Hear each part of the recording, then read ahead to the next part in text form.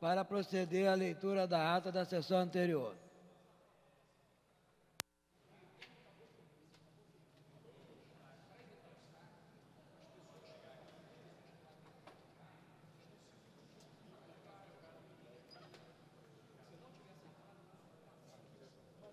Começando nessa linha aqui, essa aqui também. Tem o vereador doutor Carlos Eduardo aqui. Começando aqui. Ata da 49ª Sessão Extraordinária em 31 de agosto de 2005. Presidência dos senhores vereadores Ivan Moreira, presidente, e S. Ferraz, segundo secretário. Às 15 horas, com a presença dos senhores vereadores Patrícia Murim, Márcio Pacheco, Stepano Ercecian, Edson Santos, doutor Carlos Eduardo, doutor Adelino Simões, doutor Adilson Soares, pastora Márcia Teixeira, Andréa Gouveia Vieira, S. Ferraz, Luiz Carlos Ramos, Guaraná, Jorge Felipe, Verônica Costa, Dr. Jairinho, Cristiane Brasil, Chiquinho Brazão, Rubens Andrade, Argemiro Pimentel, Nereide Pedregal, Aloísio Freitas, Jorge Babu, João Cabral, Jorginho da SOS, Dionísio Lins e Nadinho do Rio das Pedras, 26, assume a presidência do senhor vereador S. Ferraz, segundo secretário, e ocupa o lugar de secretário, a convite, o senhor vereador Dr. Carlos Eduardo. Encerra-se a sessão às 17 horas e 25 minutos. Aprovada a ata, passa-se ao grande expediente. O primeiro orador inscrito é o senhor vereador. Dr. Carlos Eduardo, que dispõe de 10 minutos.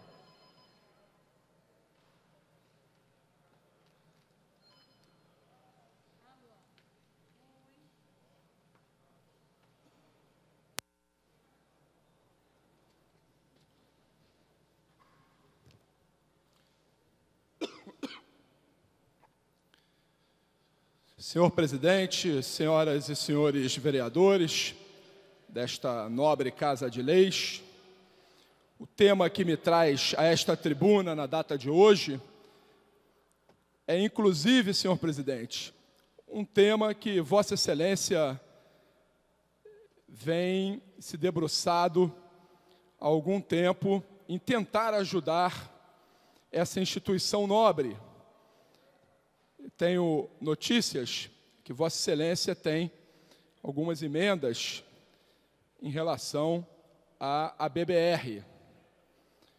Então, o que me traz a essa tribuna na data de hoje é o apelo que a BBR vem fazendo para manter as suas portas abertas.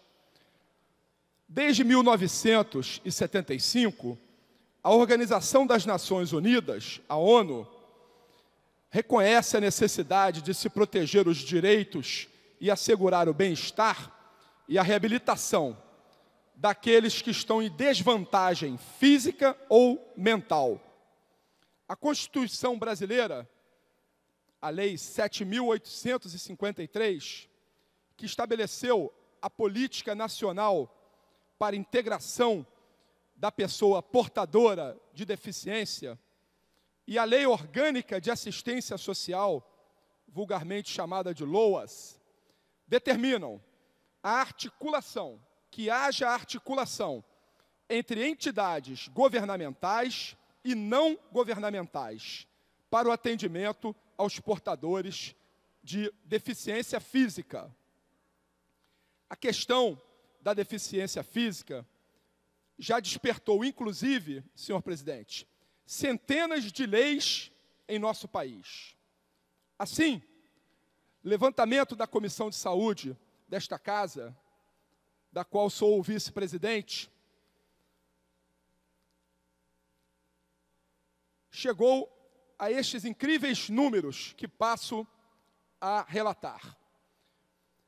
Nós temos 58 leis, decretos e resoluções federais que defendem os interesses dos portadores de deficiência federais. Da mesma forma, no estado e no município do Rio de Janeiro, mais 195 leis, decretos e resoluções. Mas, infelizmente, nada disto tem servido para salvar a BBR.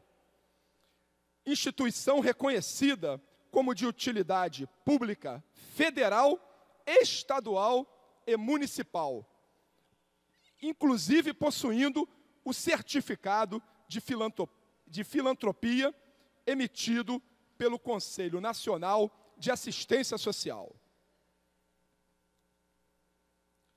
É irônico a BBR ter recebido este diploma uma vez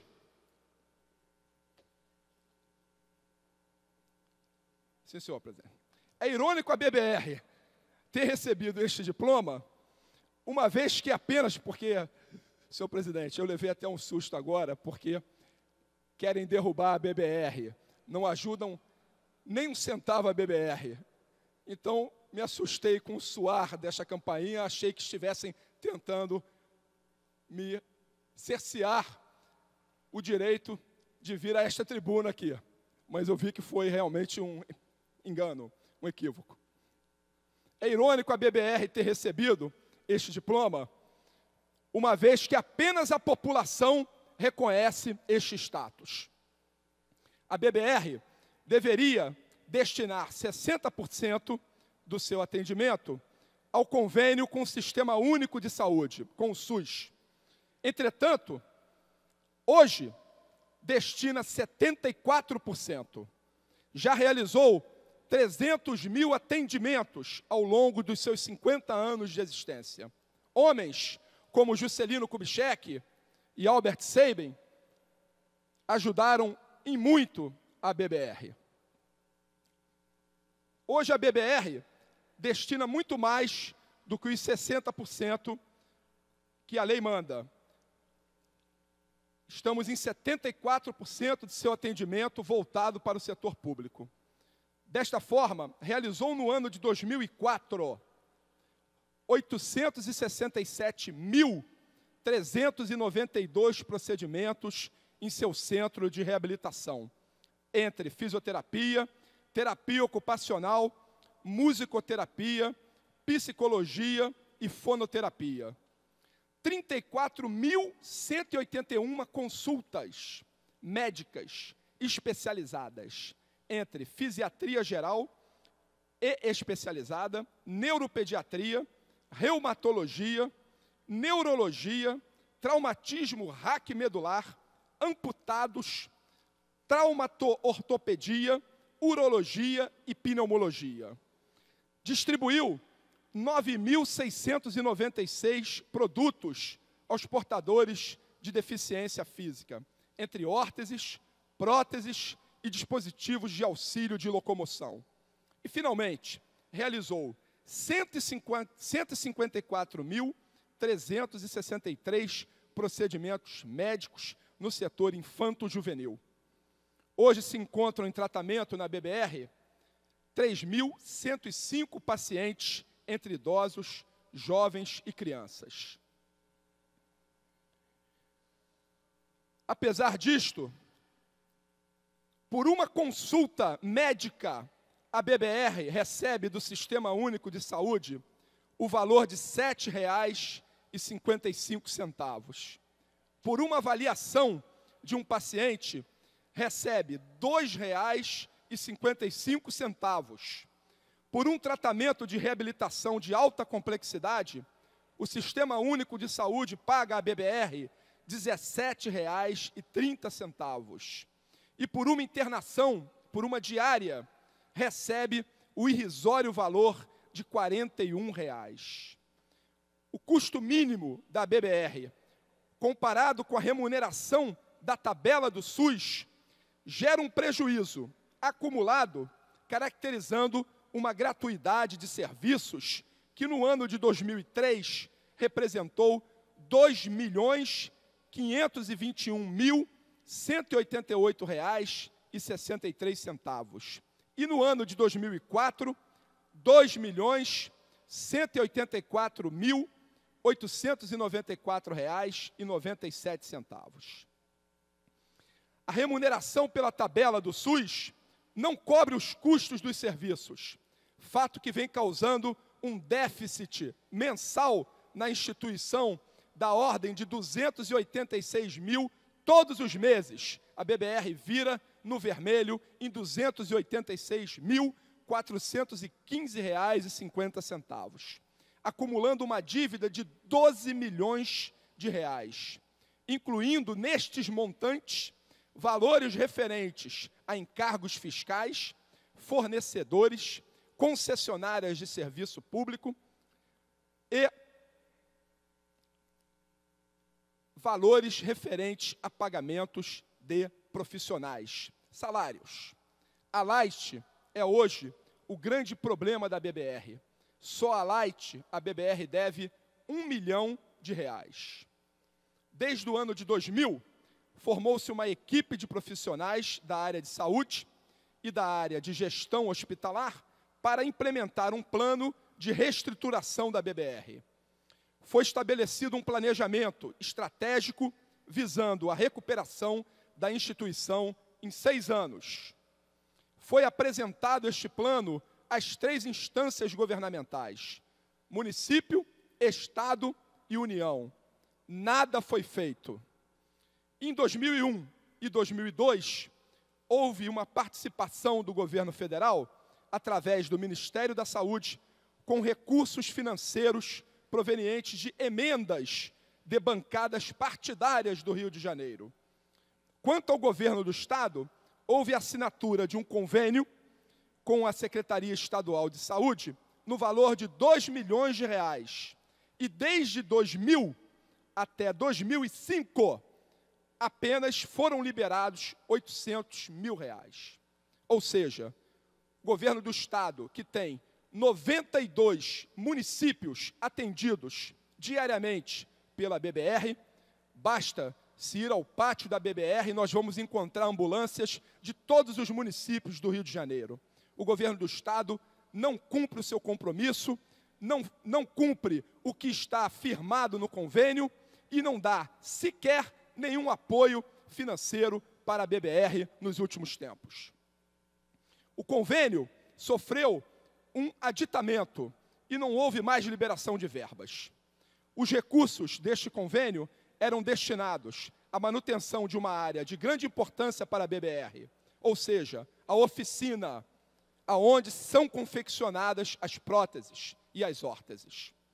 Por último, o município vem tendo sistematicamente, desde o ano de 2001, uma política de não liberação de recursos de emendas individuais de vereadores desta casa, com rejeição a todos os planos de trabalhos apresentados. Ocorreu uma audiência pública nesta casa, no dia 29 de outubro de 2003, onde a BBR apresentou sua situação financeira e os motivos pelos quais reivindica o apoio do governo municipal. São eles. Hoje a BBR, mais de 70% de seu atendimento são de pacientes residentes no próprio município do Rio de Janeiro. 30% são dos, do restante do Estado, dos outros 91 municípios. O segundo motivo, a BBR dispõe de um setor de enfermaria com 22 leitos públicos para internação em reabilitação em grandes lesados, 12 do SUS e 10 leitos municipais. Pelos leitos destinados ao SUS, a BBR recebe por paciente, já disse isso, o valor de 41 reais.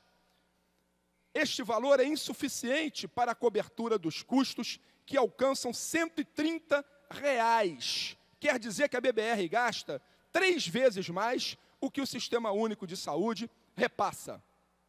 Isto por paciente. Neste tratamento estão incluídos hotelaria, alimentação, materiais e medicamentos hospitalares e procedimentos em reabilitação.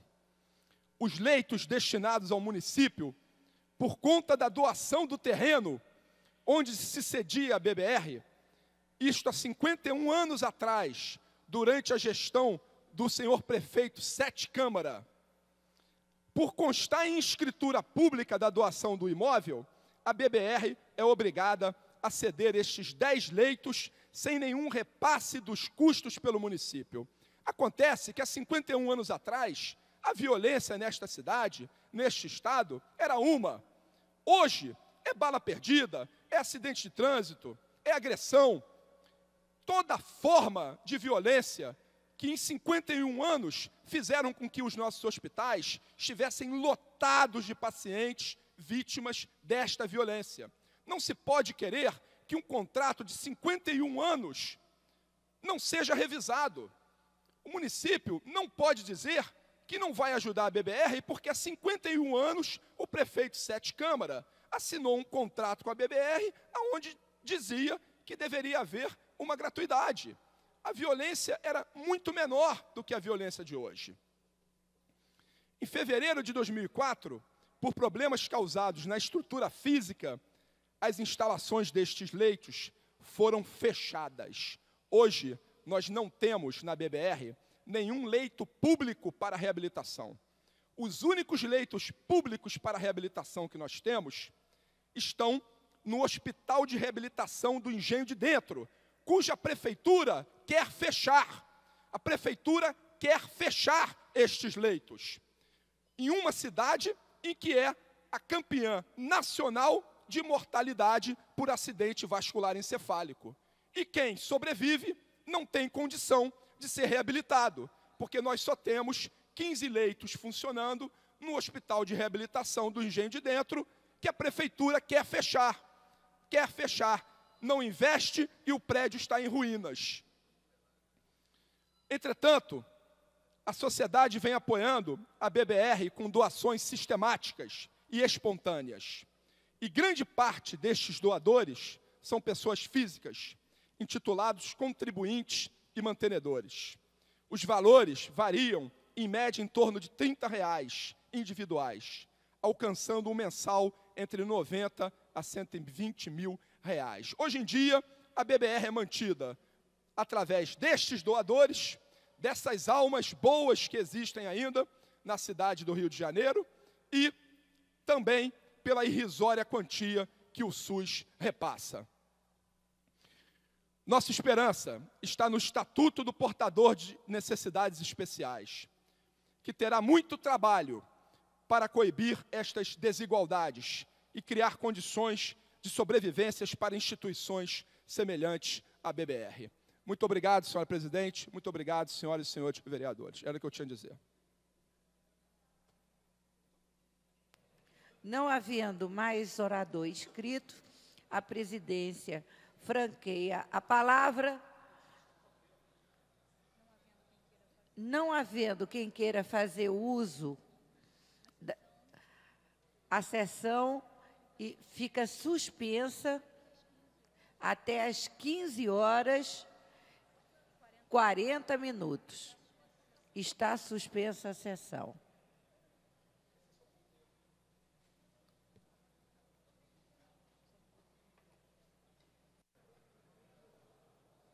Está reaberta a sessão. Terminada a primeira parte do grande expediente, passa-se a segunda parte. O orador escrito é o senhor vereador Sterpan Necessian que dispõe de 20 minutos.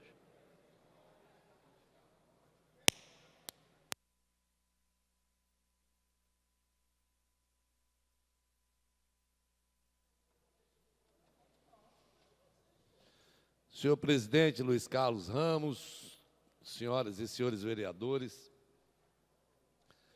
é, ocupo a tribuna é, para passar algumas informações e principalmente entregar o, o relatório da Comissão Especial de Acompanhamento dos Jogos Pan-Americanos de 2007. Mas, é, mesmo antes de, de ler a conclusão, que nós da comissão achamos importante que ficasse registrado no diário da Câmara, É importante ressaltar que o assunto Jogos Pan-Americanos, ele está em, em plena evolução e os acontecimentos do dia a dia muitas vezes atropelam qualquer conclusão, qualquer parecer que uma comissão, qualquer trabalho que a comissão esteja fazendo. Tanto é que é, já se chegou à conclusão da importância de que essa comissão especial de acompanhamento dos Jogos Pan-Americanos e Pan-Americanos de 2007 continue. Já foi formada uma, uma nova comissão.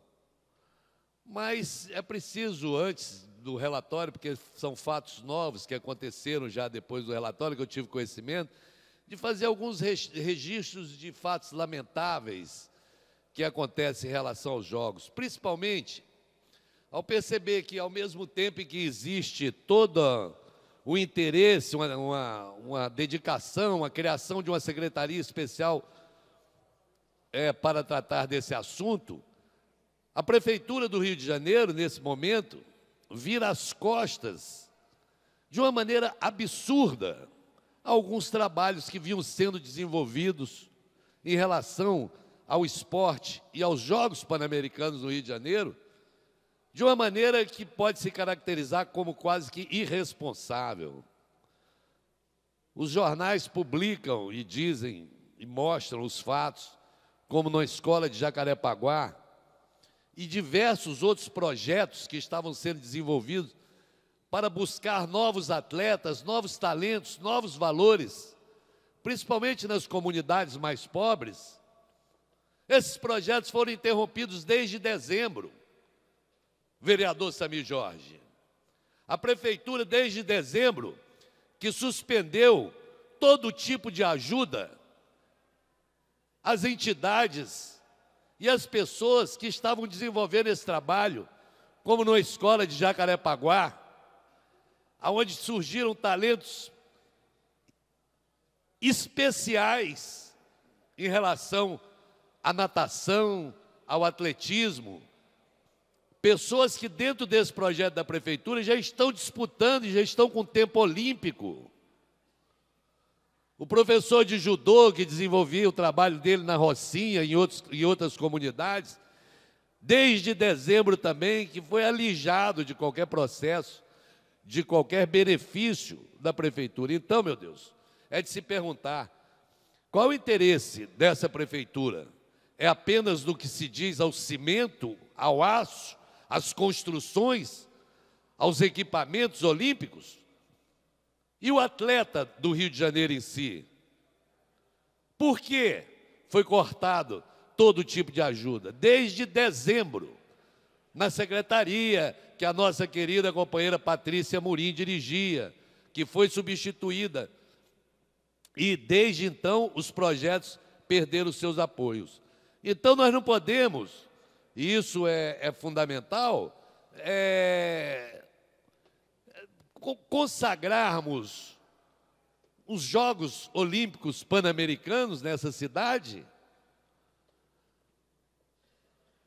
com a organização, com a prefeitura, virando as costas para os atletas dessa cidade. É um absurdo é, esse fato. E que eu estou dizendo aqui antes do relatório, porque foi um fato novo que saiu esse, esse eu, eu pelo menos tomei conhecimento é, de, do corte da ajuda a, esse, a esses projetos, eu tomei conhecimento na quinta-feira, na sexta-feira, através do Jornal do Brasil, onde mostram lá pessoas que estavam se revelando como grandes talentos, né? e que de repente essa prefeitura, sem dar satisfação nenhuma, simplesmente suspende a verba, e esse trabalho só continua mais uma vez pela solidariedade do povo carioca, por causa da presença dos moradores em volta daquele colégio em Jacarepaguá, por causa dos empresários que acham que aquele projeto é importante e que continuam ajudando, e só por isso esse projeto não parou.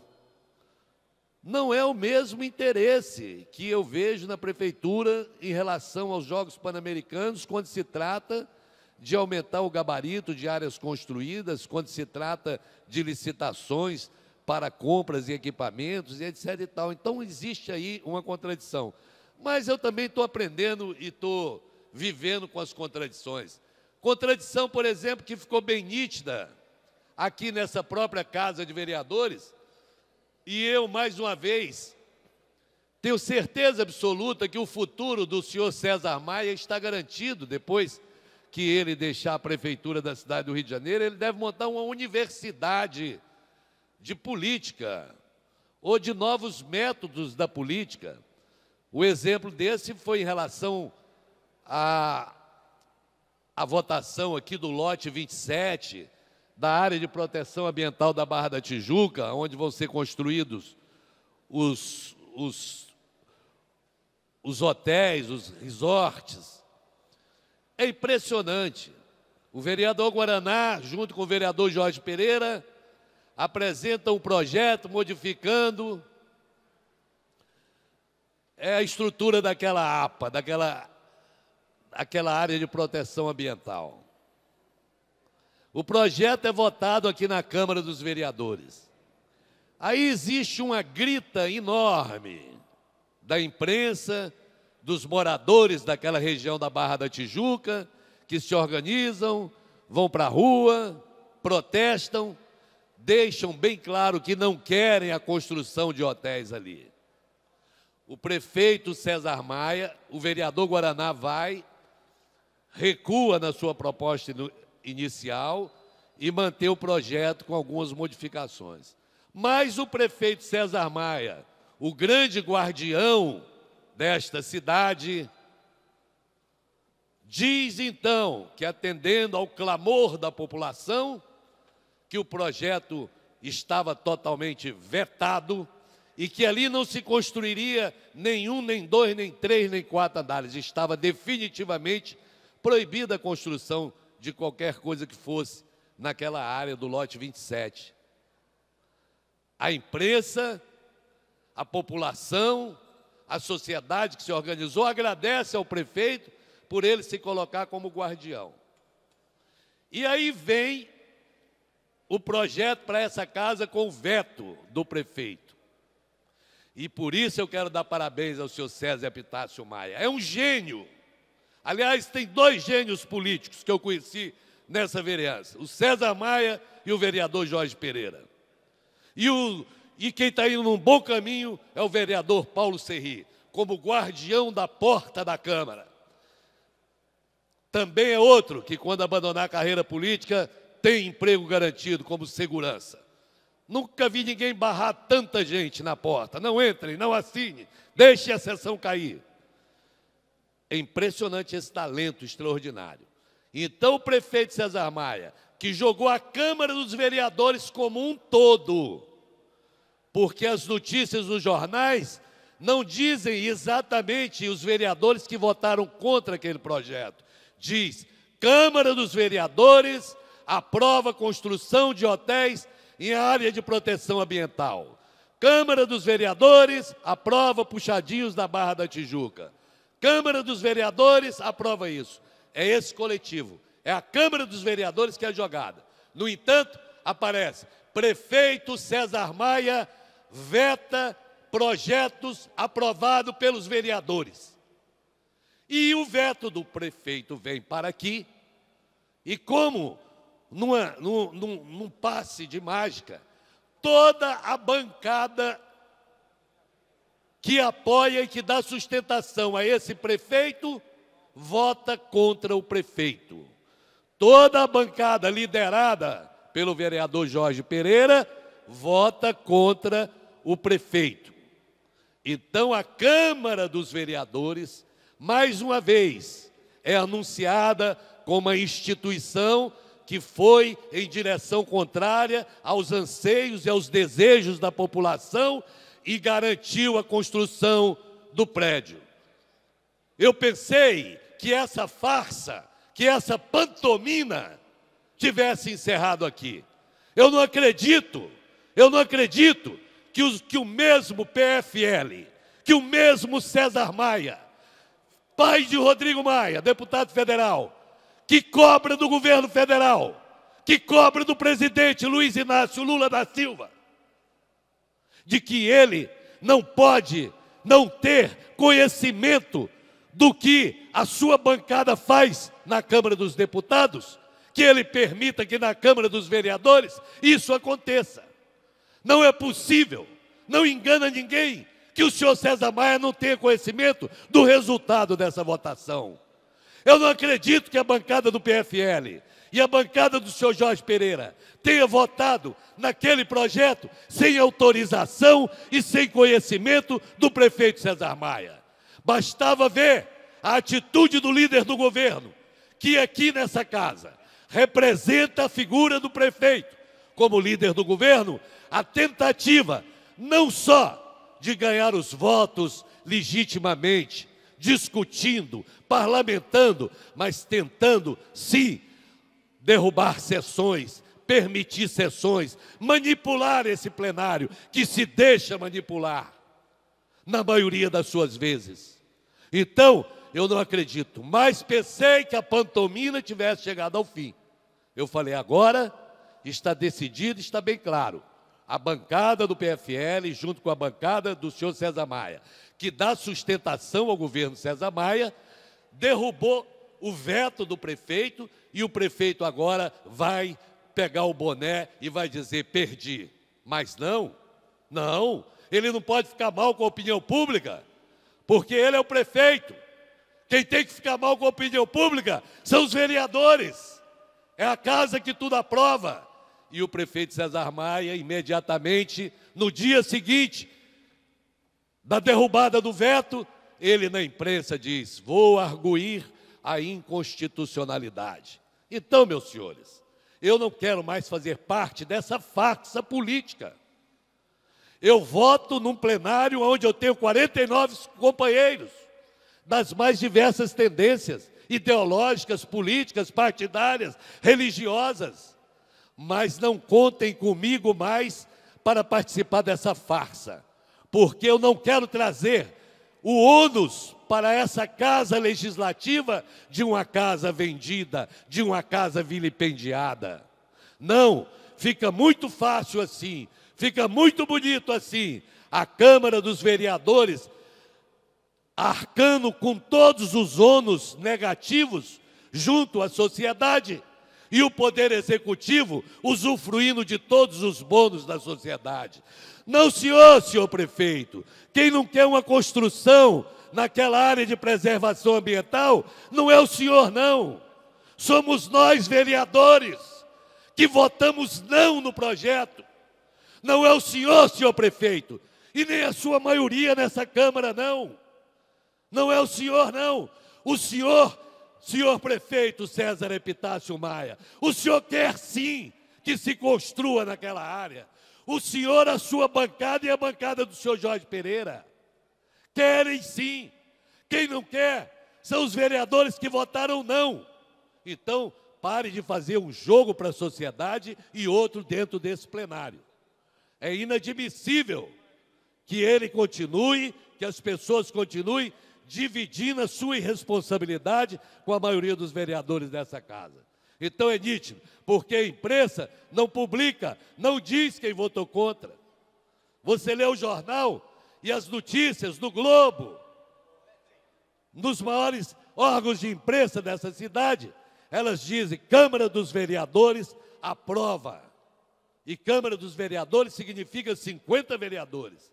Então é importante, companheiro Eleomar Coelho, que se diga, que se fale, que se registre que a Câmara dos Vereadores composta de 50 vereadores, tem vereadores que mantêm e que votam contra o que é mandado aqui pela a maioria absoluta do prefeito. Eu fiz essa, essa pequena introdução, mas na verdade é, eu estou aqui para dizer aos companheiros, aqui em nome da nossa companheira Patrícia Morim, presidente da Comissão Especial de Acompanhamento aos Jogos Pan-Americanos de 2007, aos, aos, aos vereadores Nadinho do Rio das Pedras, Carlos Caiado, Lília Sá, pastora Márcia Teixeira e Jorginho da SOS, e, e eu, Stepan Essecian, como relator, que está pronto o, o relatório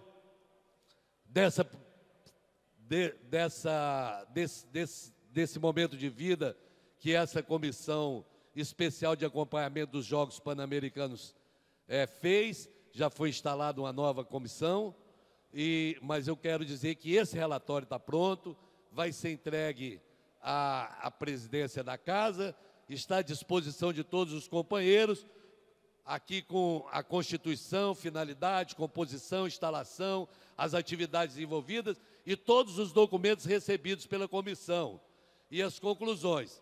Eu peço licença aos companheiros, é breve, é, para ler, porque é uma forma que, de ficar registrada no Diário Municipal, a conclusão da comissão de acompanhamento dos Jogos Pan-Americanos. É, independente da boa vontade do comitê organizador dos Jogos Pan-Americanos Corrio, do secretário Rui César e dos vereadores da Câmara do Rio, esta comissão classifica de preocupante o andamento das questões relativas ao PAN 2007. Recente a sociedade, e esta casa em particular, de instrumentos de transparência eficazes no planejamento de, de gastos com o evento. Mudanças significativas na legislação, alterando gabaritos, empenho da dívida ativa do município dado como garantia, mudanças bruscas nas regras e acordos com essa casa são preocupantes e exigem um posicionamento mais firme dos parlamentares. A terceirização do patrimônio da cidade, como Marina da Glória, Rio Centro, Autódromo de Jacarepaguá, vem se efetivando por decisão e vontade do Poder Executivo, sem espaço para debates e discussão e mesmo com atropelamento dos direitos e obrigações dessa Casa Legislativa. É especialmente grave o fato de que, para que o contrato do consórcio Plaza com a Prefeitura fosse assinado a tempo, solicitou-se que esta Casa, em convocação extraordinária, votasse em regime de urgência, ainda em janeiro, as alterações e autorizações e emendas e decretos, sem os quais tudo se inviabilizaria. E assim, essa casa o fez. Naquela ocasião, foi defendida a tese de que se a Câmara não apreciasse aquela matéria, poderia ficar com o ônus dos atrasos e até da inviabilidade dos jogos. No entanto, essa pressa acabou assim que as votações se concretizaram. Prova disso é que só agora, em 30 de agosto de 2005, foi assinado um contrato de direitos ao nome de instalações esportivas do complexo do Autódromo de Jacarepaguá, RJ Brasil. Neste caso, especialmente, é preciso investigar o seguinte fato: a oferta da dívida ativa do município em garantia ao BNDES para que o consórcio Plaza pudesse obter o empréstimo necessário para as obras é baseado no artigo 3 da Lei Municipal 3892 de 2005, originada em 2003 e que veio recebendo emendas ao longo do tempo, até que em 14 de dezembro de 2004, através do nobre vereador Alexandre Serruti, recebe uma emenda aditiva de número 6, em que acrescenta a expressão à lei e para projetos de grandes equipamentos urbanos. E foi exatamente esta emenda aditiva que um ano e oito meses depois permitiu que a transação fosse realizada. Fica então a pergunta: o expediente de oferecer a dívida ativa em garantia é fruto de uma emergência ou já seria um caso calculado, pensado e até mesmo servido como tema de negociação entre a Prefeitura do Rio e o consórcio Plaza? Preocupa também a relação da Prefeitura com a sociedade como um todo e principalmente com as comunidades que se situam nos entornos dos locais em que os aparelhos estão sendo construídos, mais especificamente o caso da Vila do Autódromo. Não está claro também as várias modificações orçamentárias, indicando que é preciso urgentemente dar fim aos improvisos e replanejamentos do projeto. Sabemos que um ou outro problema pode ocorrer, como foi o caso da descoberta de uma tubulação da SEDAI no estádio do Engenhão. Mas a emergência sempre encarece as obras e deve-se dar atenção a isso. Precisamos de detalhes em relação à necessidade da construção da oitava raia, de 100 metros, na pista de atletismo. E o porquê do acréscimo de 23 milhões de reais para essa correção. Diante da importância deste evento para o país, e em especial para a cidade do Rio de Janeiro, já foi pedida a instalação de uma nova comissão de caráter prorrogativo aos trabalhos da atual, tão bem conduzidos pela nobre vereadora Patrícia Murim, todos os seus membros, e por mim relatado. Por fim, fica a certeza de que essa Casa de Leis deve imediatamente concentrar esforços e dar condições especiais para o bom funcionamento da nova comissão. Rio de Janeiro, em 1 de setembro de 2005, vereadora Patrícia Murim, presidente, vereador Stepano Essencian, relator, vereador Nadir do Rio das Pedras, vice-presidente, vereadora pastora Márcia Teixeira, vereador Jorginho da SOS e vereador Carlos Caiado. Muito obrigado, senhor presidente Ivan Moreira. Eu vou colher as assinaturas dos companheiros, encaminhar para Vossa Excelência é, esse primeiro relato e reafirmar a todos os companheiros e a essa casa a importância do acompanhamento firme, nítido, rigoroso, corajoso dos senhores vereadores em relação aos Jogos Pan-Americanos. Insistindo mais uma vez, enquanto houver tempo, vamos trabalhar nessa comissão de acompanhamento, para que esta comissão de acompanhamento não tenha que se transformar numa comissão parlamentar de inquérito, numa CPI. Porque nós sabemos que as comissões parlamentares de inquérito atualmente deveriam mudar o nome para Comissão Parlamentar de Inquérito. Obrigado. Esgotado o tempo destinado ao grande expediente, passa-se ao seu prolongamento. A mesa dará ciência das proposições recebidas. Requerimento de autorização do vereador Edson Santos Aqui a mesa diretora da forma regimental, sessão do plenário, dia 28 de novembro, 9 às 18, para a realização do primeiro seminário sobre a região metropolitana do Rio de Janeiro. Senhoras e senhores vereadores que aprovam, permaneçam como estão. Aprovado. Requerimento de autoria do senhor vereador Sami Jorge. Requer a mesa diretora da forma regimental, sessão do plenário, dia 28 de setembro, partir das 18h30, para a realização de solenidade comemorativa pela passagem do 80 aniversário do ex-governador Marcelo Nunes de Alencar. Senhoras e senhores vereadores que aprovam, permaneçam como estão aprovados. Requerimento de autorização do vereador S. Ferraz. Requer mesa diretora de forma regimental. Sessão do plenário, dia 25 de outubro, 18h30. Para a solenidade entrega de medalha. Senhoras e senhores vereadores que aprovam, permaneçam como estão aprovados. Requerimento de autoria do senhor vereador S. Ferraz. Requer a mesa diretora na forma regimental sessão do plenário no dia 4 de novembro, 18h30, para a solenidade entrega a medalha Pedro Ernesto. Senhoras e senhores vereadores que aprovam, permaneçam como estão. Aprovado. Requerimento de autorização do vereador S. Ferraz. Requer a mesa diretora da Forma Regimental. Sessão do plenário, 25 de novembro, 18h30, para a realização de solenidade. Senhoras e senhores vereadores que aprovam, permaneçam como estão. Aprovado. Requerimento de do vereador S. Ferraz. A mesa diretora da Forma Regimental. Sessão do plenário, dia 12 de dezembro, 18h30, para a solenidade. Senhoras e senhores vereadores que aprovam, permaneçam como estão, aprovado. Requerimento de autorização da vereadora Márcia Teixeira, pastora Márcia Teixeira. Requer a mesa diretora de forma regimental, sessão do plenário, 1 de dezembro, 10 horas. Para a solenidade, senhoras e senhores vereadores que aprovam, permaneçam como estão, aprovado. Requerimento de autorização da vereadora pastora Márcia Teixeira Requer a mesa diretora regimental, sessão do plenário, dia 2 de dezembro, 19 horas, para realização de solenidade. Senhoras e senhores vereadores que aprovam, permaneçam como estão, aprovado. Requerimento de autorização do vereador Guaraná.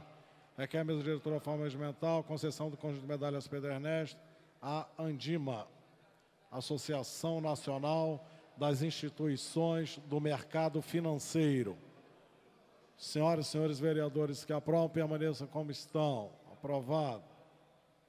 Requerimento, senhor vereador Stepan Ercesian. Senhora, requer a mesa diretora forma regimental, sessão do plenário, dia 30 de setembro, 18h30, para a solenidade. Senhoras e senhores vereadores que aprovam, permaneçam como estão, aprovado. Requerimento de autorização vereador Nadim de Rio das Pedras. Requer a mesa diretora de forma regimental, concessão com de medalhas Pedro Ernesto. A doutora Adriana Belém, delegada da 41ª DP. Senhoras e senhores vereadores que aprovam, permaneçam como estão, aprovado. Requerimento de autoria, senhor vereador doutor Carlos Eduardo. Requer a mesa diretora de forma regimental. Seja concedido com de medalhas Pedro Ernesto. Associação Brasileira Beneficente de Reabilitação, a BBR. Senhoras e senhores vereadores que aprovam, permaneçam como estão, aprovado. Esgotada a pauta do prolongamento, passa a ser ordem do dia.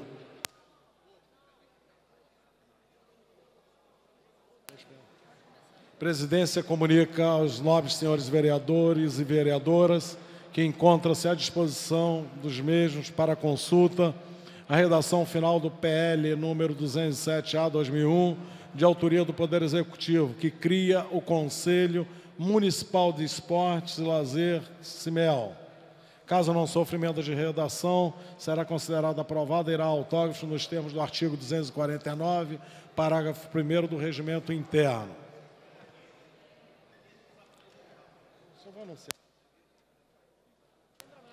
Tramitação especial, regime de urgência, discussão única. Em votação. Veto total posto pelo Poder Executivo ao PL 178-2005, de autoria do senhor vereador Brizola Neto, que dá nova denominação aos Centros Integrados de Educação Pública, CIEPs, municipais. A matéria está em votação. Terminais liberados. Vereador, de autoria do vereador Brizola Neto, que dá nova denominação aos Centros Integrados de Educação Pública. Terminais liberados.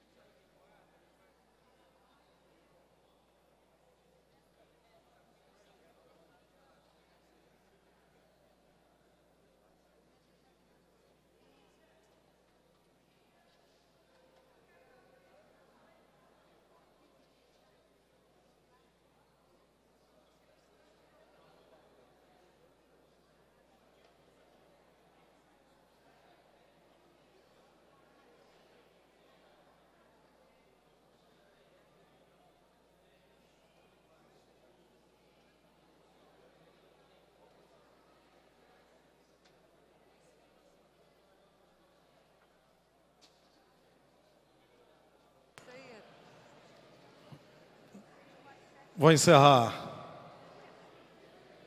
Espera aí, Zé Carlos. Espera aí, Zé. Um pouquinho.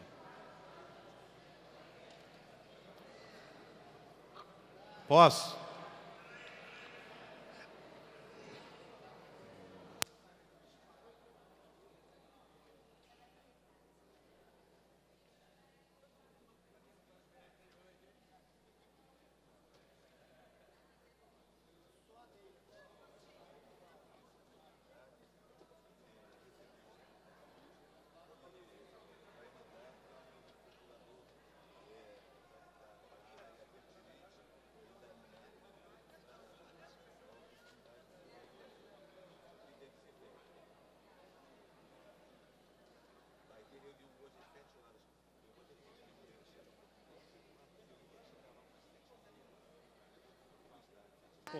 Vou encerrar. Presentes votando não, 33 senhores vereadores, veto é rejeitado. O projeto segue a promulgação. Tramitação especial, regime de urgência, discussão única. Em votação. Veto total posto pelo Poder Executivo ao PL 20-2005, de o vereador Dionísio Lins, que autoriza o Poder Executivo a determinar autonomia financeira das unidades hospitalares da rede pública do município do Rio de Janeiro, da outras providências. No orador inscrito para discutir a matéria, encerrada a discussão. Em votação. Terminais liberados.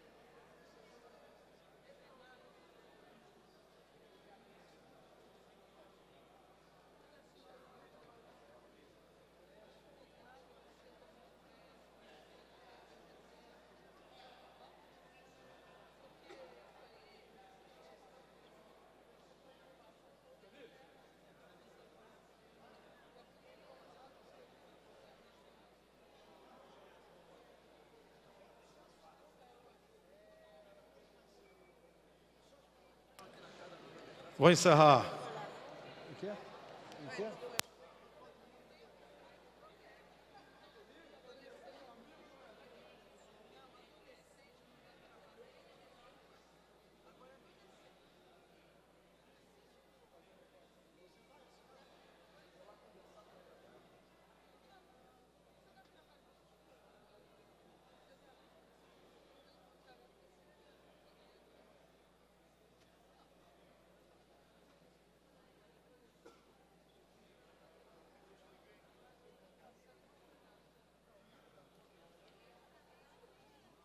Vou encerrar.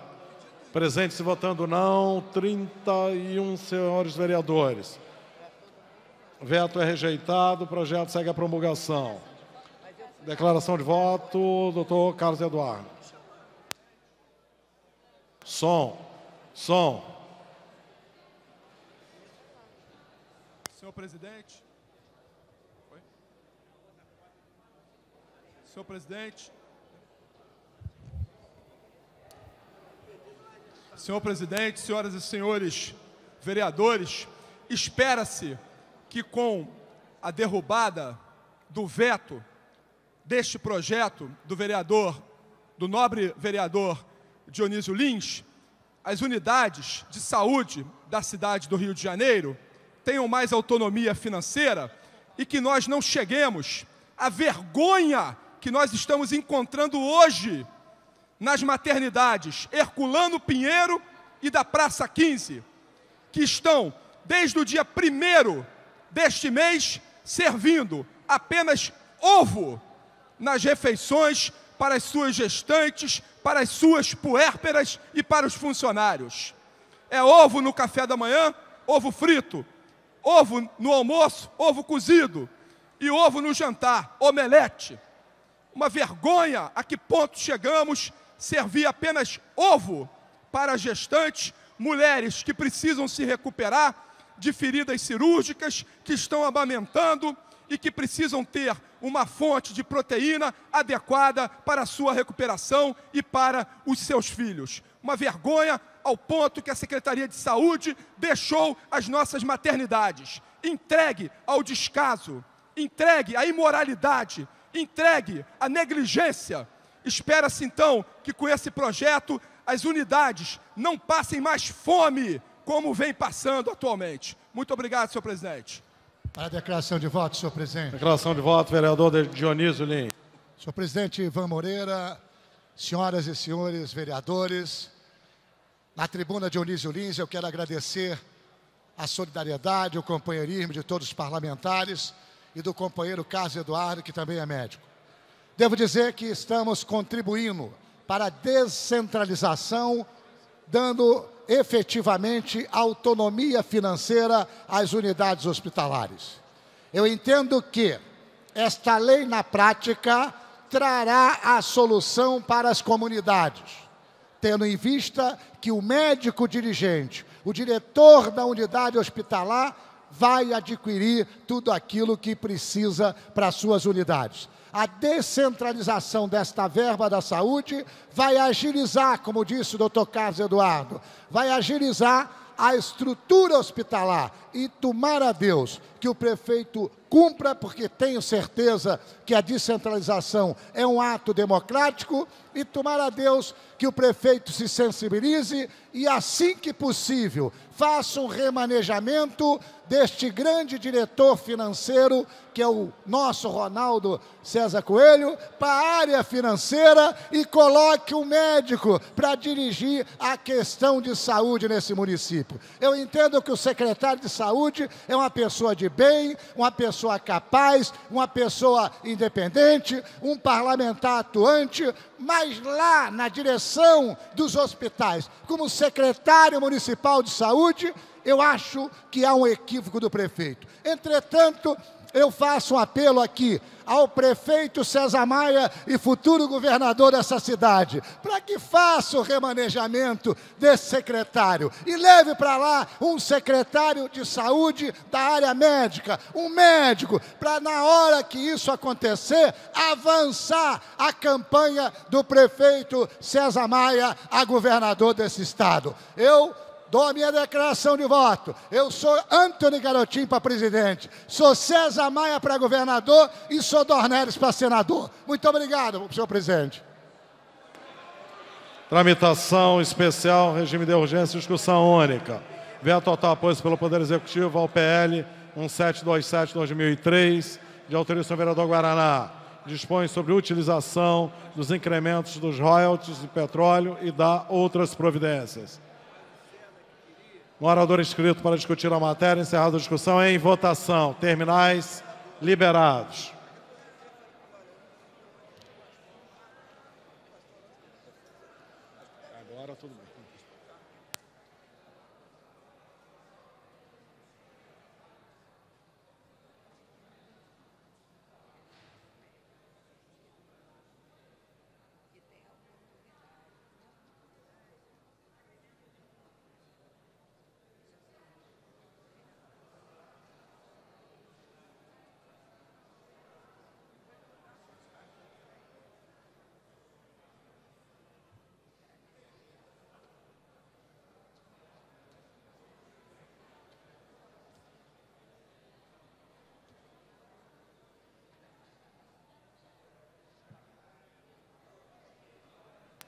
Terminais liberados.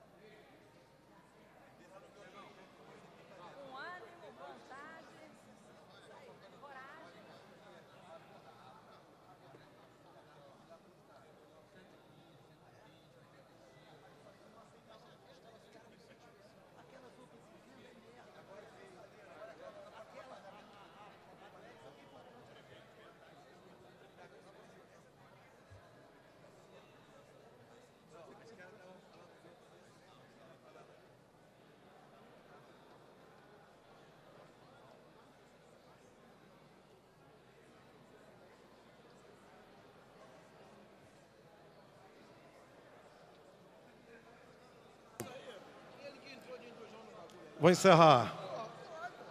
Presentes e votando 28 senhores. Peraí, peraí, Zé. Vereadora Tereza Berg. Vereadora Tereza Berg. A senhora estava querendo alterar, não? Alterar? Já foi encerrado, mas eu vou consignar. Tá? Então, presentes, Zé Carlos, presentes e votando 28 senhores vereadores. Votaram, votou sim, um.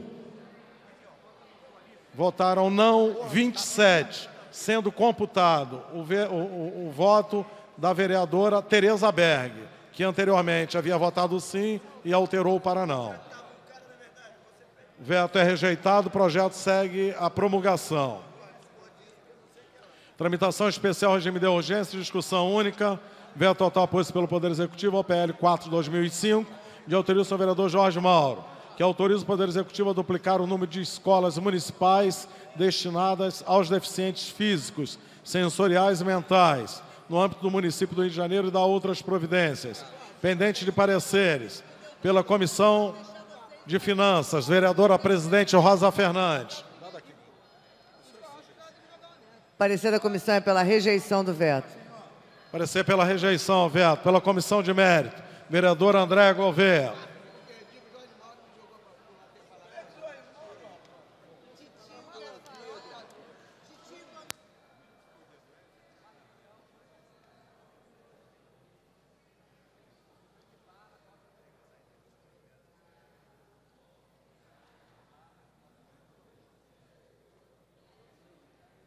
Pela manutenção do veto. Pela manutenção do veto. Pela manutenção do veto. Não há orador inscrito discutir a matéria, encerrada a discussão. Em votação. Terminais liberados.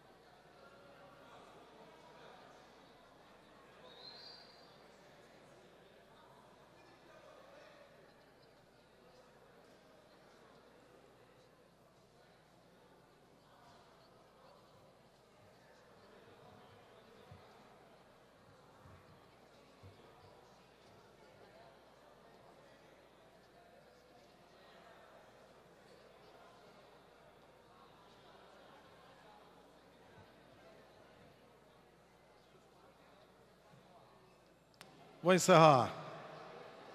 Presentes votando não, 29 senhores vereadores, voto é, veto é rejeitado, projeto segue a promulgação.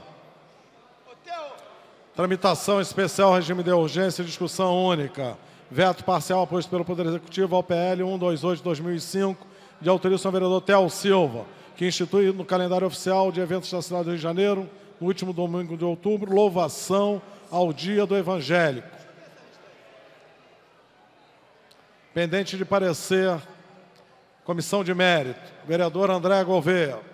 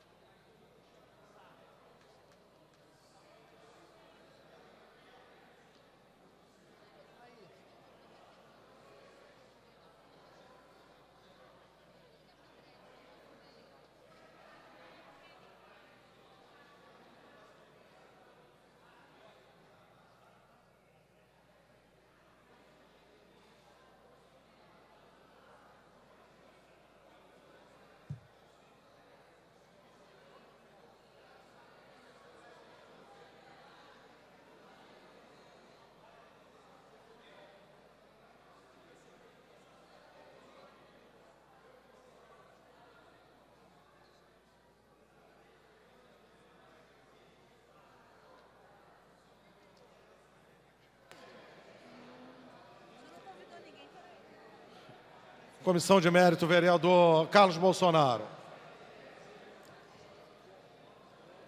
Eu chamei, ela não deu. Rejeição, manutenção. Eu recebi lá teu convite, o teu cartão.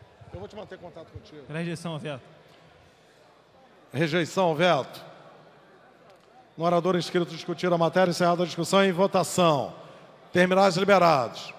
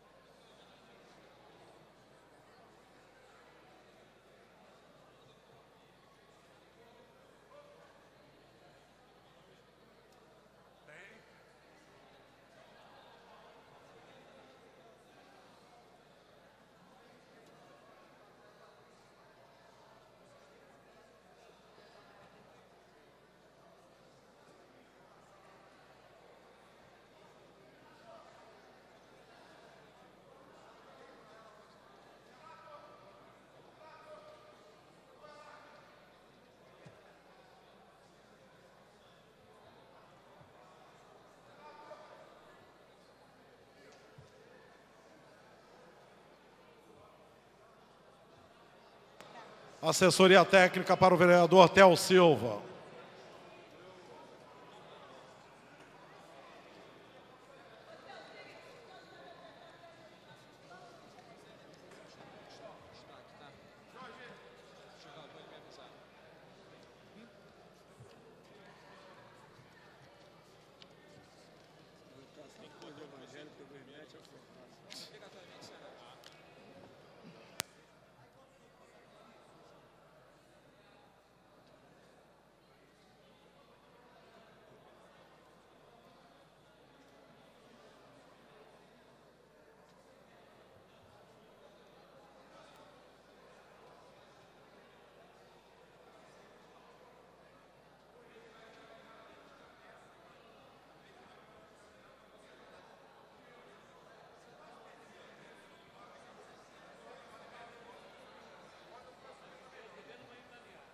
Aqui, a história é o seguinte: se a gente perder a votação em bloco, você contemplar Você entendeu? Tá fechado isso? Porque o, o P-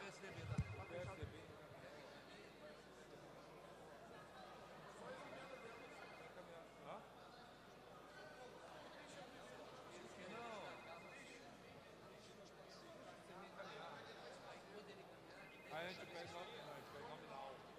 Vai derrubar no encaminhamento. Se a gente perdeu o nominal, se a gente perdeu o nominal. Não, a gente já ganhou.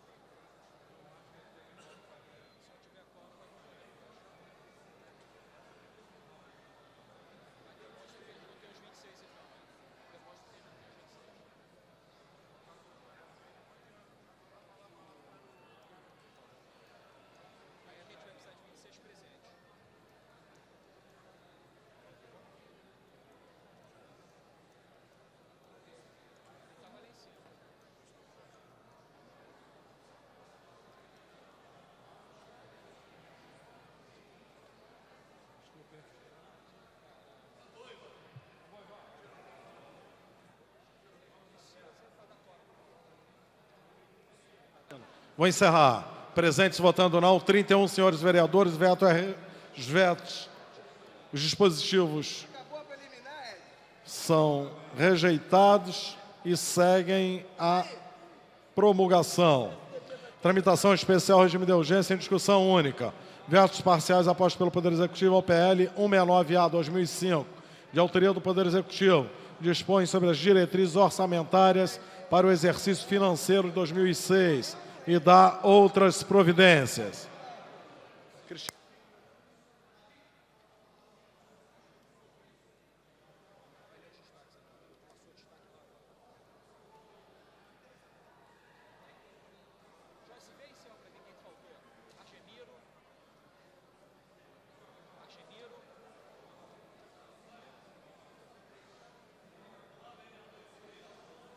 No orador inscrito para discutir a matéria.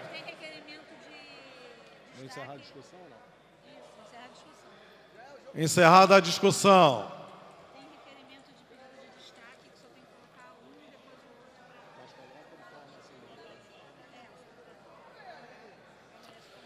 A presidência dá conhecimento ao doutor plenário que está de posse de requerimento de autoria do senhor vereador Paulo Serri, contendo o número regimental de assinaturas de apoiamento. Os seguintes termos.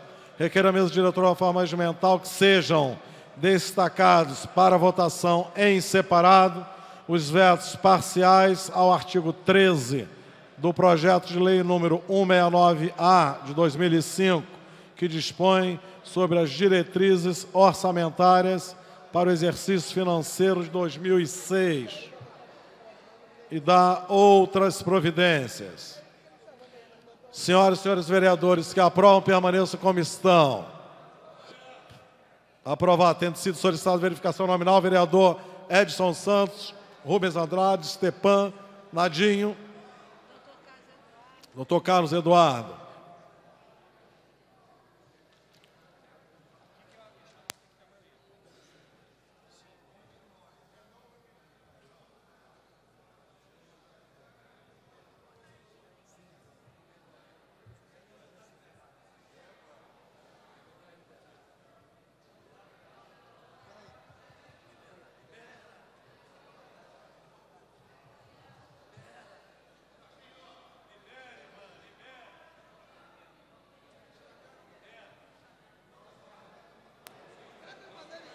Um segundinho só, um pouquinho de paciência, os terminais já serão liberados.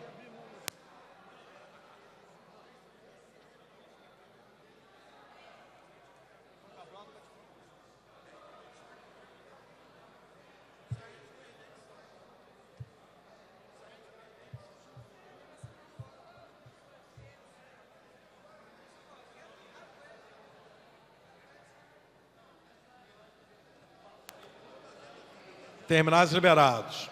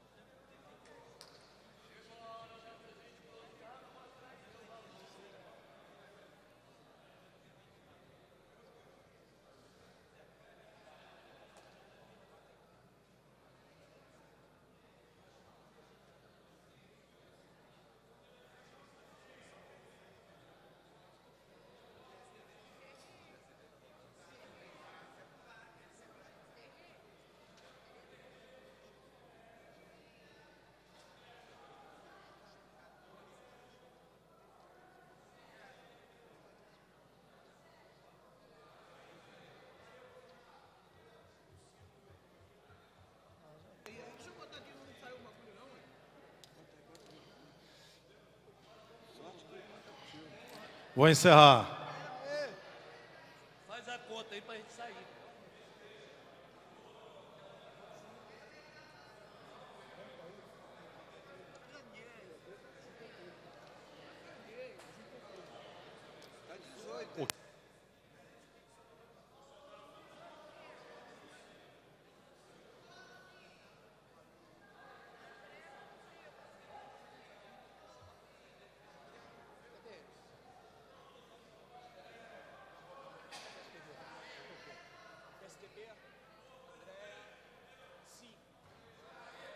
Vou encerrar. Mais algum senhor vereador que queira votar ou queira alterar o voto? Todos satisfeitos? Vereador Paulo Serril, tem que encerrar.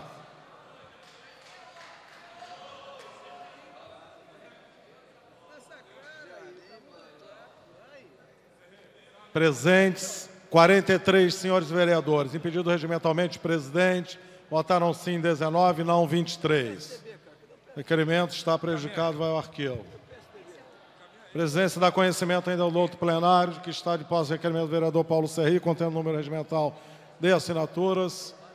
Seguintes termos. Requer a mesa diretora da forma regimental que sejam destacados para votação em separado os vetos parciais ao artigo 55 do PL número 169A 2005, dispõe sobre as diretrizes orçamentárias para o exercício financeiro de 2006 e dá outras providências.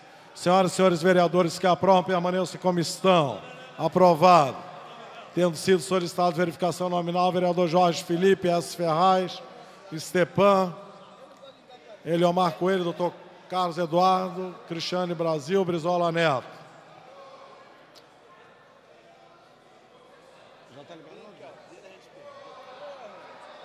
Terminais liberados. Senhoras e senhores vereadores poderão fazer uso dos mesmos.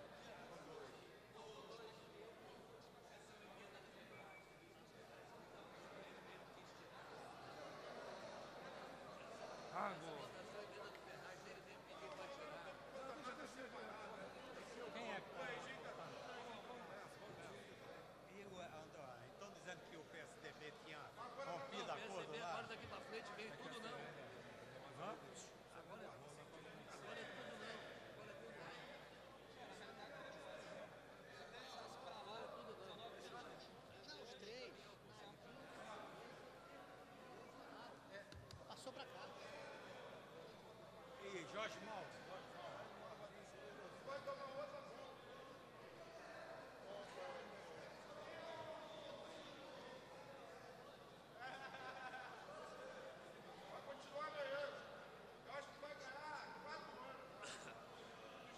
Na realidade, dois votos. Porque aí empata- empataria 21 a 21 e o presidente seria obrigado a votar. Acabou, irmão. Acabou, acabou. 23 aí. Agora já era. Já deu. Agora é porrada definitiva. A não ser que ele Aí ele vai ter que respeitar essa porra aqui. Agora vai ver se ele vai tirar o pessoal ou não. Ah, vai tirar, vai tirar porque é muito. Não, ele vai votar com a gente assim. Vou encerrar.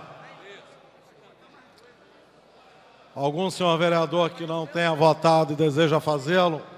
Não? Algum senhor vereador que queira alterar o voto? Não? Então está encerrado. Presentes 43 senhores vereadores, impedido regimentalmente um. Votaram sim 19, não 23. Requerimento está prejudicado e vai ao arquivo. Requerimento? Em votação, os vetos parciais. Aposta ao Poder Executivo ao PL 169A 2005. Agora é tudo. Votação, presidente. Terminais liberados. Vamos votar. Não. Agora é tudo, né? Presidente, não está liberado não, presidente. Terminais liberados.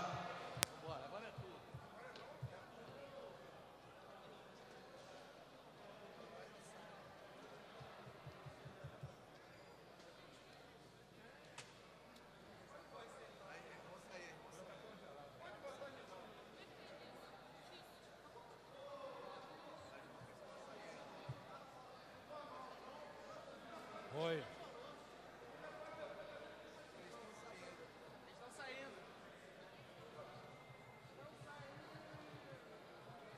Tá não, tá? Veto total. É o veto total.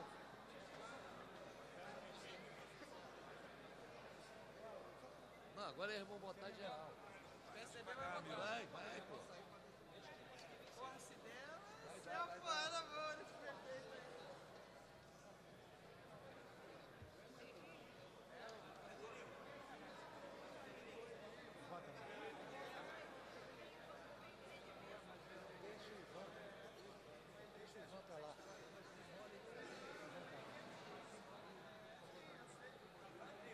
Principalmente no parlamento. A mudança de Constituição desse parlamento.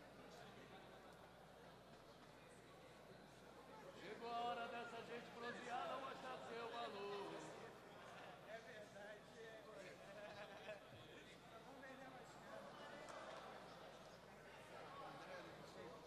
Falta quatro aí.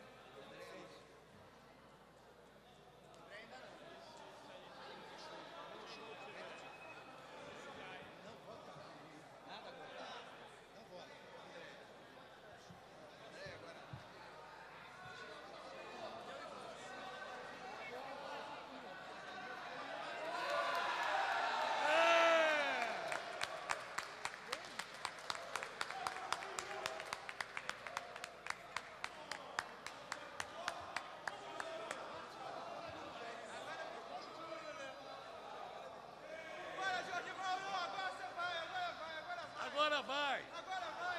Jorge Mauro! Jorge Mauro! Vota não.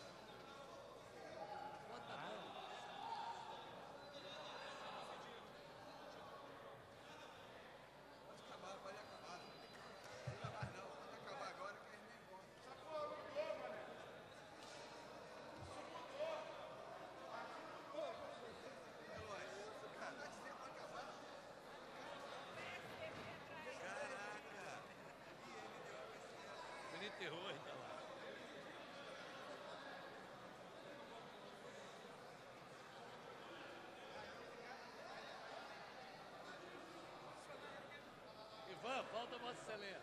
Ivan! Ivan vai votar. Presidente. Vou encerrar. Presentes e votando 42 senhores vereadores, votaram sim 14, não 28. Os vetos são rejeitados, dispositivos vetados seguem a promulgação. Declaração de voto, vereadora Rosa Fernandes. Ela votou ou não? Cadê? Perdemos tudo? Perdemos tudo. Perdemos tudo. Nós perdemos Senhor presidente, senhoras e senhores vereadores, votamos hoje a LDO. E é importante que observemos que nesse processo algumas, alguns projetos se tornam necessário a compatibilidade, que é o plano plurianual, as metas de 2006 a 2009 e o orçamento propriamente dito. Os anexos, que não estão hoje é, em pauta, mas que também devem ser levados em consideração, nós temos que ter o cuidado de que esses três projetos tracem a mesma linha e as mesmas emendas. Por essa razão, nós estamos é, convocando uma reunião de líderes de bancada para a próxima quarta-feira, dia 14, às 14 horas, no cerimonial, para que a Comissão de Orçamento possa passar as orientações para a análise e a votação dos outros dois projetos, ou seja, do Plano Plurianual e do Orçamento do ano de 2006.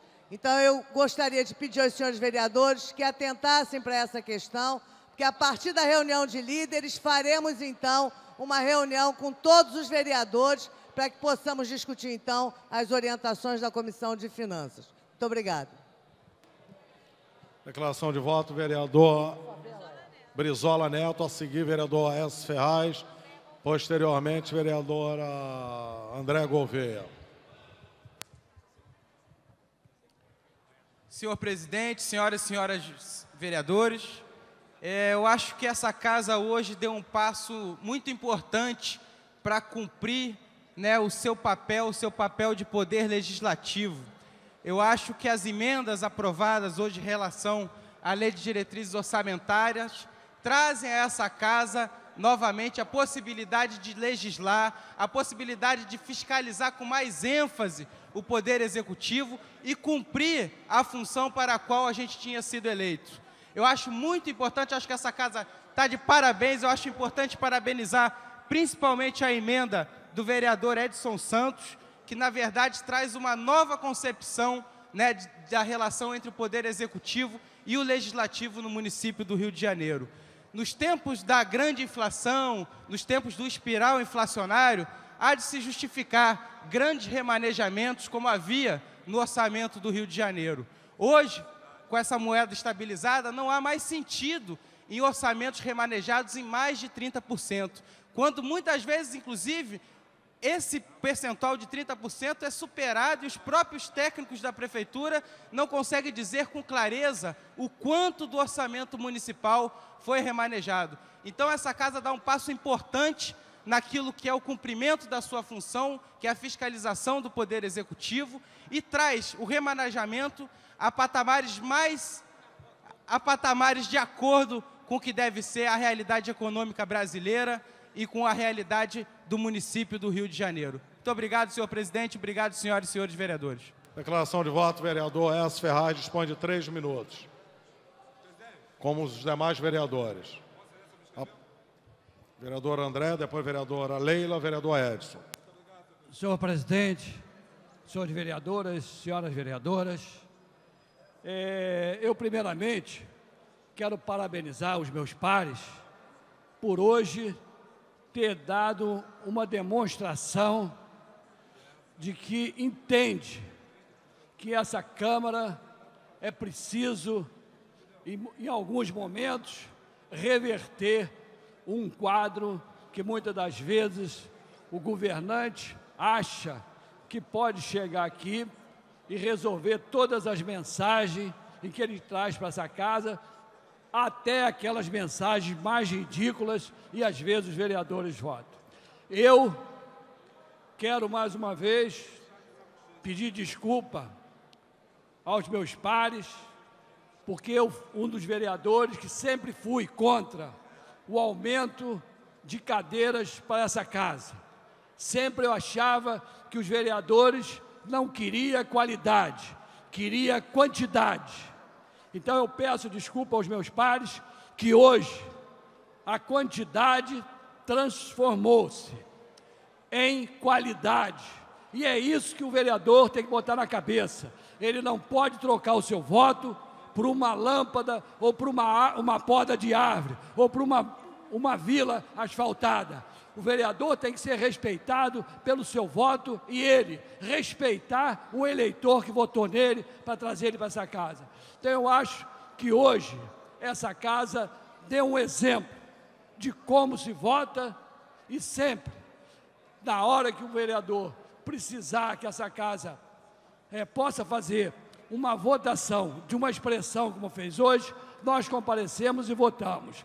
Por isso, eu dou meus parabéns a todos os meus pares. Muito obrigado. Até aqueles que votaram contra. Eu dou meus parabéns.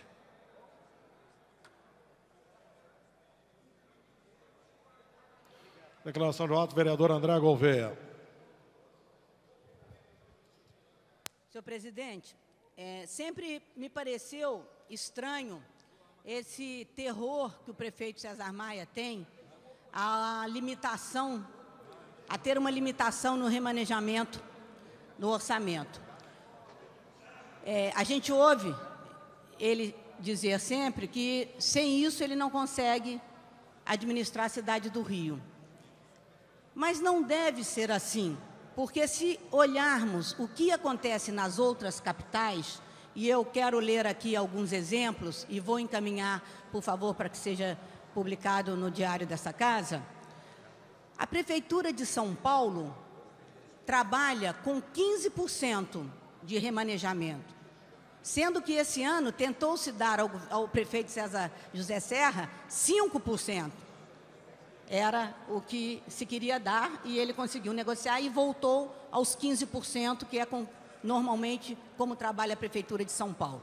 A Prefeitura de Belo Horizonte trabalha com 10% de remanejamento. A Prefeitura de Vitória com 15%.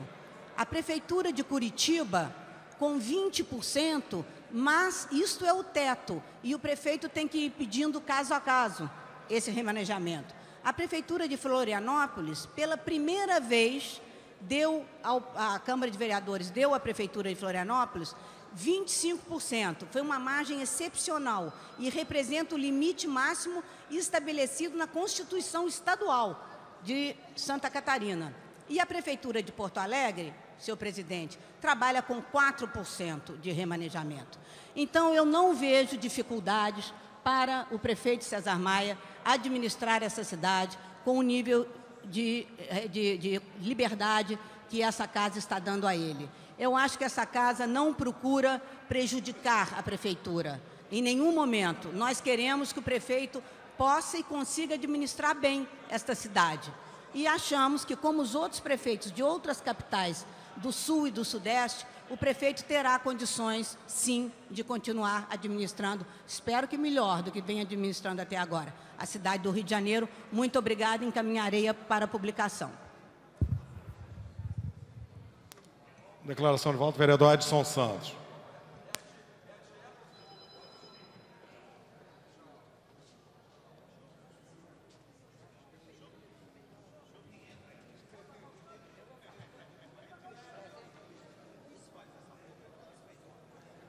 Mandar uma mensagem para a Câmara.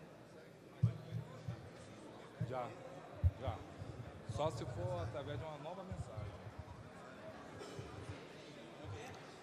É, senhor presidente, senhores, senhoras e senhores vereadores, eu queria, em primeiro lugar, é, fixar que essa emenda embora eu tenha apresentado, junto com outros vereadores aqui da casa, uma emenda de iniciativa dos companheiros do Fórum Popular do Orçamento, instituição que atua no sentido de colaborar na discussão da lei orçamentária e que subsidia a, aos vereadores e à sociedade com análises é, que versam sobre a execução orçamentária.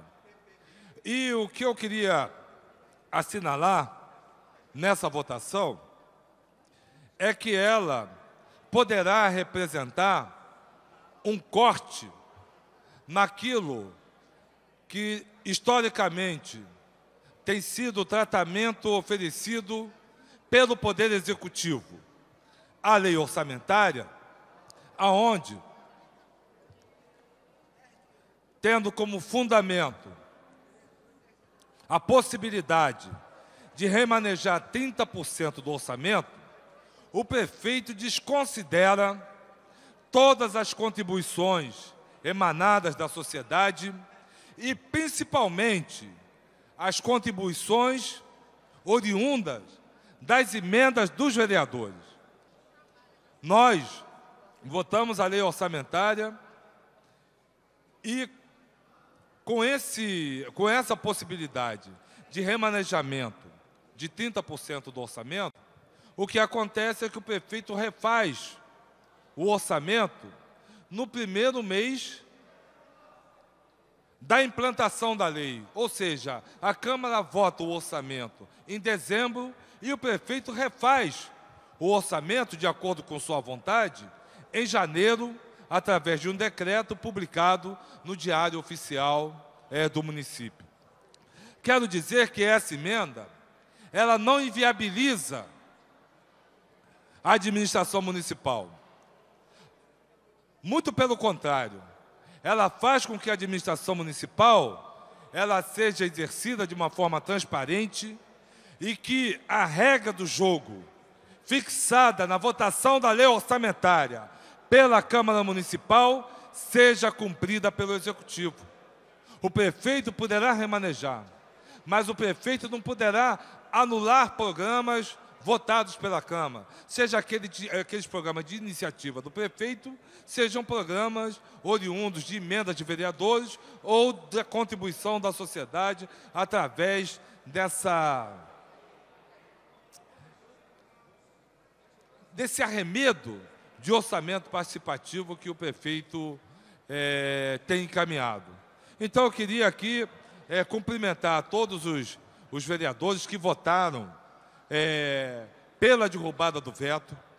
Quero dizer que a questão da saúde, a questão da educação, da assistência às crianças em creche, a partir de agora, quando a lei orçamentária for enviada à Câmara, nós poderemos discuti-la com seriedade, poderemos estabelecer quais as necessidades desse segmento e fixarmos na lei orçamentária o quanto deverá ser destinado à educação, à saúde, à assistência à criança, enfim, à área social do município. Porque o que tem acontecido, efetivamente, é que a Câmara tem demonstrado preocupação no sentido de reforçar esse setor, esse segmento na lei orçamentária, mas o prefeito tem frustrado a vontade dos vereadores, porque desfaz a lei orçamentária a partir de um decreto com base na autorização de remanejamento de 30% do orçamento global. Sei que o prefeito não vai se contentar com isso. Já ouvi algumas colocações dizendo: ah, o prefeito vai à, justiça, vai dar trabalho à procuradoria no sentido de arguir a inconstitucionalidade, mas que inconstitucionalidade está contida em uma emenda que modificou uma, um artigo oriundo do Executivo. A emenda apenas reduziu para 15% para o programa aquilo que o prefeito queria obter da Câmara, que era exatamente ter a liberdade para remanejar 30% do global. essa possibilidade a Câmara demonstrou de uma forma muito clara que a Câmara não admite. Se o prefeito insistir em ir à Justiça, ao Tribunal de Justiça, a fim de garantir esse privilégio, o Tribunal de Justiça terá que verificar, e ali existem desembargadores com muita competência, e com certeza verificarão que uma emenda modificativa numa lei de diretriz orçamentária não pode, de forma nenhuma, senhora presidente, vereadora Leila do Flamengo, padecer de vício de inconstitucionalidade. Então, nesse sentido, eu acho que cabe a nós, vereadores, resistirmos a todas as tentativas que certamente o Poder Executivo, o senhor César Maia, que se diz um grande administrador, mas que não consegue fazer um planejamento de um ano para a cidade do Rio de Janeiro. Um planejamento de um ano para a nossa cidade. Porque a lei orçamentária significa exatamente isso. É o planejamento para o manejo dos recursos municipais, a fixação de prioridades para a cidade do Rio de Janeiro durante o período de um ano. Será que nesse período, onde a inflação ela é descendente, como muito bem assinalou aqui o vereador Brizola, né?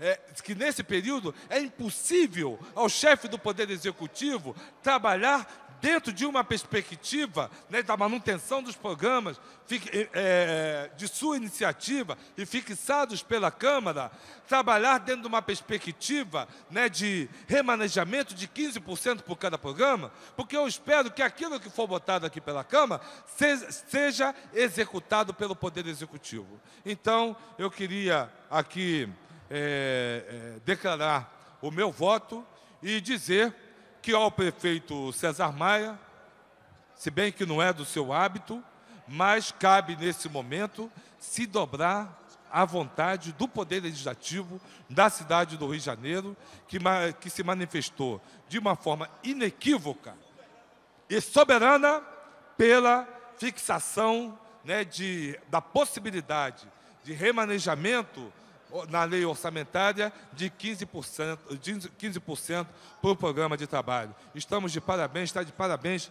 a Câmara Municipal é, do Rio de Janeiro e tenho certeza que a sociedade carioca, aqueles que nos assistem, veem com bom grado essa iniciativa dos, dos vereadores do município do Rio de Janeiro.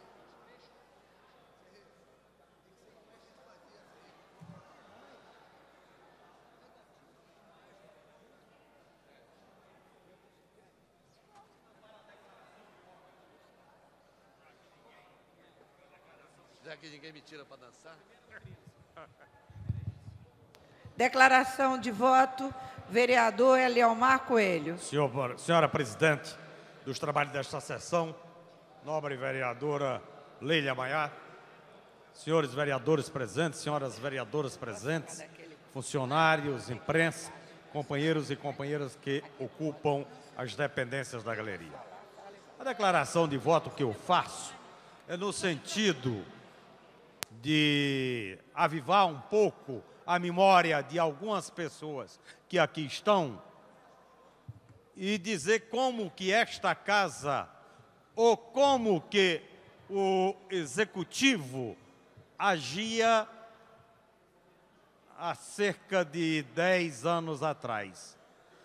O orçamento vinha para esta casa, não tinha nada de remanejamento, o que existia era uma rubrica denominada reserva de contingência.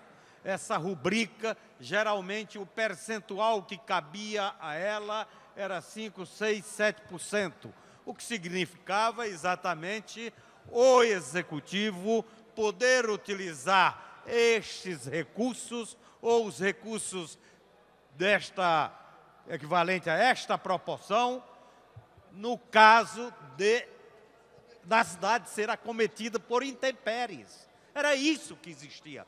Então, é claro que sempre tem aí os gênios das finanças que começam a inventar coisas. Então, de repente, esta casa aqui e outras aí seguiram o exemplo, ou não sei se aqui já foi seguindo o exemplo de outras, que começou com esta coisa de remanejamento. Para vocês terem noção, o que, que significa isto, é, onde que há, está embutido um- uma perversidade.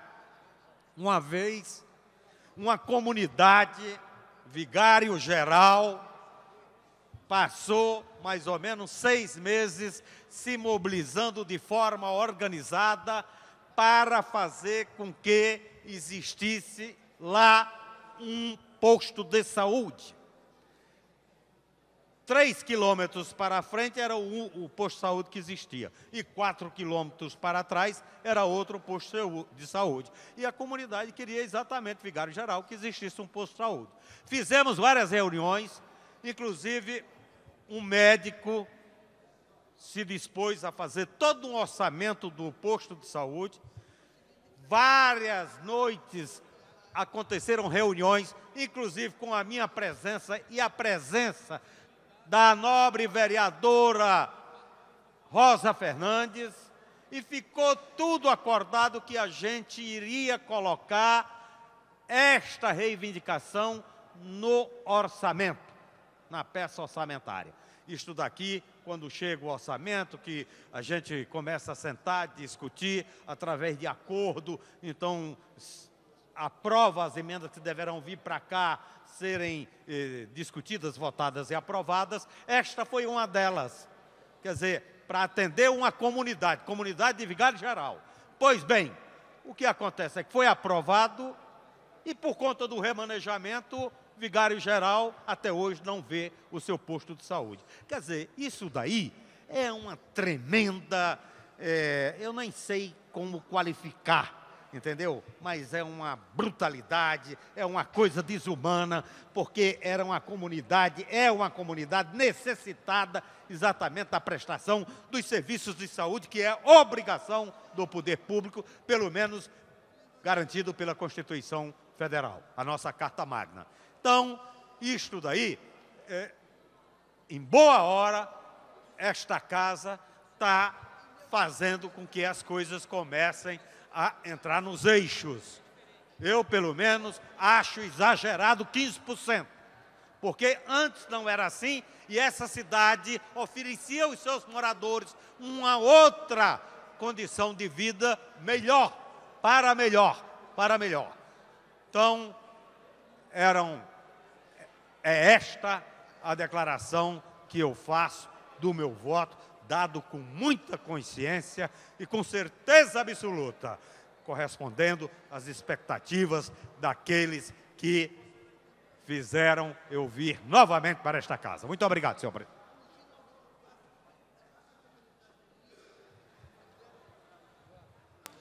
Para a declaração de voto, a vereadora Leila do Flamengo. Senhor, Com a palavra, Sua Excelência. senhor presidente, senhoras vereadoras, senhores vereadores, eu estou nesta casa há quatro mandatos. E cada vez que nós vamos votar a lei das diretrizes orçamentárias ou orçamento, eu tenho sempre uma visão na minha frente, a cidade do Rio de Janeiro. E eu me coloco no papel executivo que eu tenho que trabalhar para que a cidade funcione com mais agilidade, que os recursos possam ter menos burocracia para as realizações. A cidade do Rio de Janeiro é uma cidade congênere, totalmente diferente no mundo. Ela foi capital da República, ela foi o estado da Guanabara, ela sofreu todas as consequências em quem foi tirado do Rio de Janeiro, arrecadações, eh, patrimônio. E o Rio de Janeiro tem mais de 1.300 escolas públicas. A capital de São Paulo, além de ter uma arrecadação fabulosa, com as grandes indústrias concentradas hoje em São Paulo, o Rio de Janeiro, com todo o desgaste de uma cidade que está todos os dias na mídia,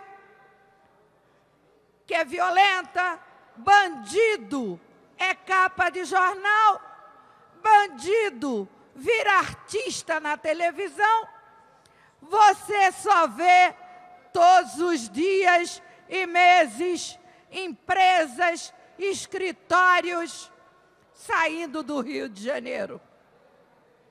O Rio de Janeiro tem 1.300 escolas e a rica São Paulo só tem 300, sob a responsabilidade do Poder Executivo. A rica São Paulo tem pouquíssimos hospitais na rede municipal. Quase todos são estaduais e federais. A cidade do Rio de Janeiro, o Rio sofrido, desgastado, tem os 20 maiores hospitais da América Latina. Hoje o Rio de Janeiro continua carregando a saúde do estado do Rio de Janeiro. O Rio de Janeiro vai ter, daqui a um ano e meio menos, o Pan-Americano. O Rio de Janeiro vai precisar fazer investimentos na cidade. O Rio de Janeiro está perdendo congressos para Belo Horizonte. É uma cidade que, que está com a missão de revitalização, que é a vontade do povo carioca. Eu entendo, porque para o vereador fazer oposição é muito fácil, é muito bonito. Você dizer, eu vou dificultar a administração do prefeito. E muita gente, muitos colegas aqui, são candidatos na próxima eleição. Então, o compromisso com a cidade do Rio de Janeiro é menor. Eu vou para o Estado, eu vou para Brasília. O Rio, se der errado, se o prefeito não conseguir realizar, é ruim para o PFL ou é ruim para o PSDB também? Porque se o prefeito César Maia, por uma decisão maior do partido e dele próprio, for candidato a governador, em abril ele sai do cargo, ou a presidente da República. Então, quem vai governar é meu querido ex-colega, amigo, companheiro Otávio Leite. E nós vamos entregar para ele, há um ano do Pan-Americano, uma prefeitura engessada, um prefeito que vai ter que trabalhar apertadinho, apertadinho mesmo. Foi uma decisão da Câmara de Vereadores. Eu queria dizer aos colegas que eu votei sim ao orçamento do município do Rio de Janeiro, sim a um orçamento de uma cidade que precisa se preparar, se revitalizar para o povo carioca e com a responsabilidade de representar o Brasil e o mundo em 2007. Eu falo com muita satisfação nesses meus quatro mandatos que o povo me deu, que eu humildemente exerço com muito orgulho de ter a bandeira da minha cidade no peito. eu votei em nome da cidade do Rio de Janeiro. Muito obrigada.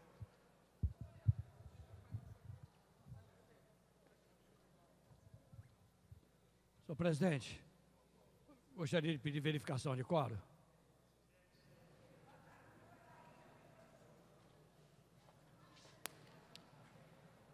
Como é que fala? É, por solicitação de Sua Excelência o nobre vereador S. Ferraz, a presidência vai proceder à verificação de quórum.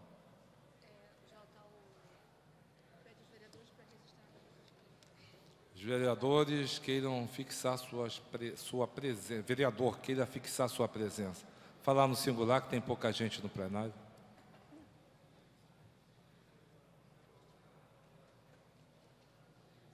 Também tem, né?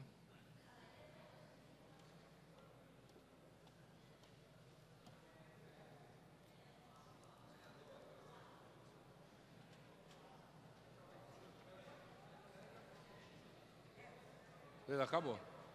Acabando, está acabando. Vai cair. Vai cair? A senhora já registrou sua presença para verificação de quórum? Não, aqui. A presidência vai encerrar. Hein?